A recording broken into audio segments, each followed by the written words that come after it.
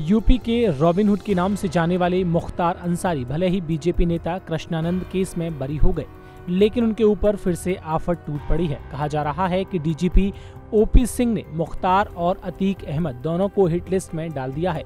कहा जा रहा है कि यूपी के डीजीपी ओपी सिंह ने बाहुबलियों और उनके परिवार में मौजूद लोगों के पास लाइसेंसी शस्त्रों का ब्यौरा जुटाने के ऑर्डर जारी किए हैं। इस बारे में जब ओपी सिंह से बात की गई तो उन्होंने कहा कि शासन स्तर पर पैरवी करके इन अपराधियों को शस्त्र लाइसेंस को सस्पेंड करवाने की कोशिश की जाएगी। बताया जा रहा है कि अगर ऐसा होता है तो बाहुबली विधायक मुख्तार अंसारी और पूर्व सांसद अतीक अहमद समेत पश्चिमी यूपी के कई बड़े अपराधियों की मुश्किलें और भी ज़्यादा बढ़ सकती हैं।